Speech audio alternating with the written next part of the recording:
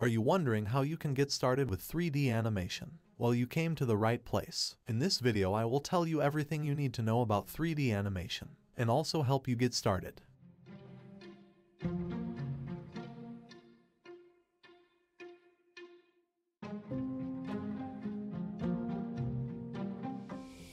There are different kinds of 3D softwares you can use, but I recommend Blender. Blender is a very powerful free software that you can download now and start creating some animation. Anyway, download it now and I will show you some basics.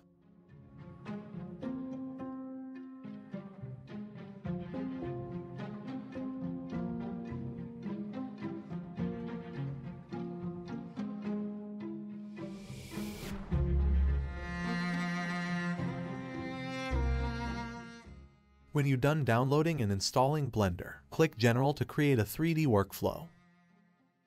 On your world view, you will always find a default cube. Many people like to delete it, then add it again, but now let's keep it.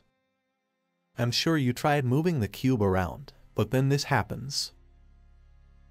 It's okay, I also had the same experience.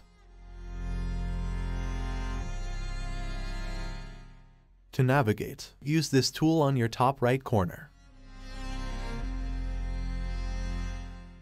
Or, you can also click your mouse scroll wheel. When you rotate forward the mouse scroll wheel you zoom. When you rotate backward, you unzoom. When you click and move the mouse, you will be able to view your cube from different sides.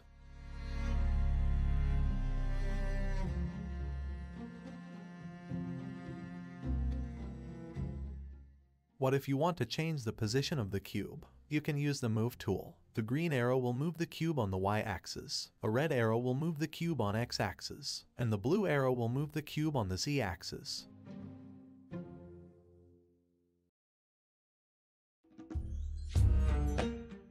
You can also use G on your keyboard to drag.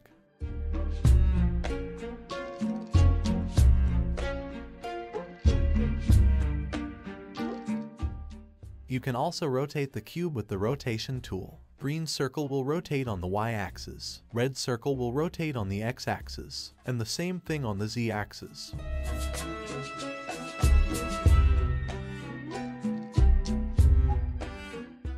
To bring the cube back to its original position, go to Object and Clear Rotation. You can also clear the location.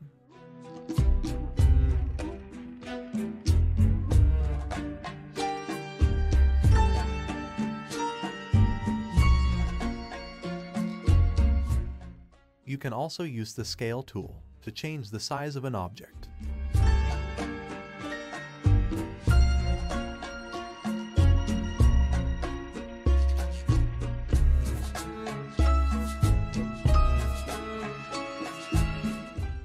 And you can also clear the scale.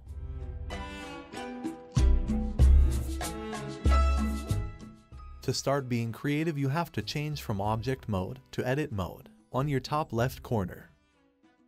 In edit mode, you can start creating some custom shapes. You can create anything you want whether as a 3D character or a house. Create anything you imagine. The sky is the limit.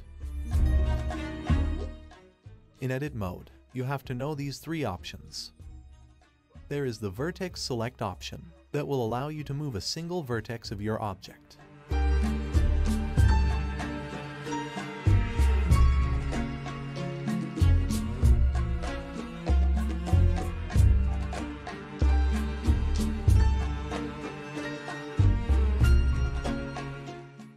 And there is an edge select option to select and move edges.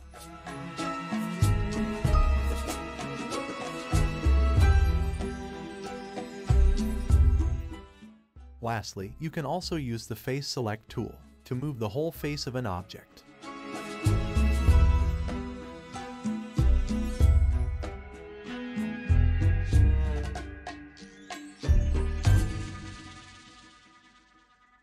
Want to be more creative? There is Sculpt option that will allow you to sculpt custom shapes. But the Sculpt tool will not work if you have a few faces, just like in our case now. A cube has only 6 faces. To be able to sculpt, go back to Edit mode.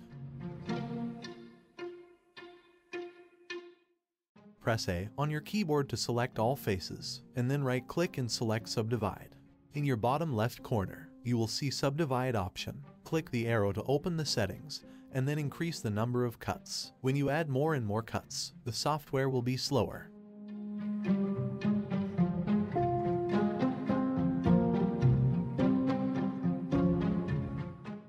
In sculpt mode, there are many tools that you can use. You have to try them yourself to see how they work.